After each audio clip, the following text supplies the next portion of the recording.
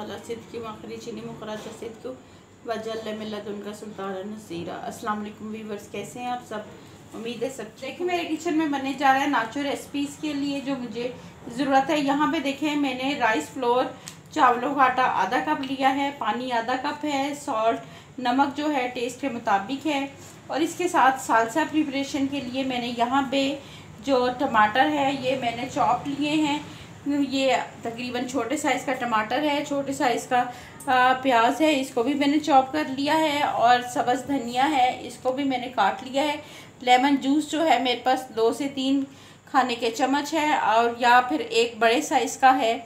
और इसके साथ मेरे पास चीज़ पाउडर जो है, ये मैंने लिया है। चले आए, शुरू करते हैं। के लिए मैंने चॉप टमाटो डाल दिए चॉप ऑनियन डाल दिए। ये देखें, ये बहुत ही आसान है, बहुत ही मज़े का बनता है। ये जो नाचोस हैं, ये बनते जो हैं, वो बन, मकई के आटे के हैं, लेकिन हम जो है यूनिक से बना रहे हैं। हम चावलों का आटा इस्तेमाल कर रहे हैं। ये देखें, सब्ज़ धनिया चला गया। इसके बाद मैंने लेमन जूस इसमें ऐड कर दिया है। मैंने लेमन जूस के साथ वन पिंच ये मैंने नमक ऐड कर दिया है और ये देखें इसको मिक्स कर हमारा सालसा तैयार है अब हम नेचो तैयार सबसे पहले हमने अपने पैन में पानी डालना है बिस्मिल्लाहिर्रहमानिर्रहीम हमने अपनी अपने पैन में पानी डाल लिया है उसके बाद हमने सॉल्ट थोड़ा सा डालना है और इसको बबल आने बबल्स बनना शुरू हो गए हैं। यहाँ पे हमने अपना ये चावलों का आटा शामिल करना है बिस्मिल्लाहिर्रहमानिर्रहीम हमने बिल्कुल मीडियम लो आँच पे इसको फ्राई करना है ये देखें।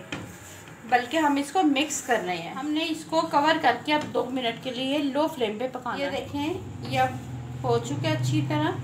अब हमने इसको किसी बाउल में ठंडा होने के लिए देखें अब ठंडा हो चुका है। अब हम इसको अच्छे से गूंद लेते हैं। जैसे आटा गूंदते हैं डो बनाते हैं हमने इसको वैसे देखें हमारी डो बन के तैयार है। अब हम इसको रोटी की तरह बेल देखें ये मैंने इसको बेल लिया है यहाँ पे और आपने किसी चीज़ से इसको कट कर लेना है। ये देखें।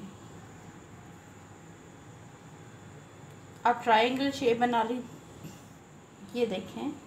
हमने ऐसे बाकी सब रेडी ऐसे करते हैं तैयार हो चुके हैं अब हम इसको डीप फ्राई करते हैं। ये देखें पैन में ऑयल गर्म हो चुके हैं हम इसको फ्राई करते हैं। बिस्मिल्लाह ये देखें। ये देखें ये हमारे नाचोस तैयार हैं। अब हमने चीज़ पाउडर इसमें शामिल करना है।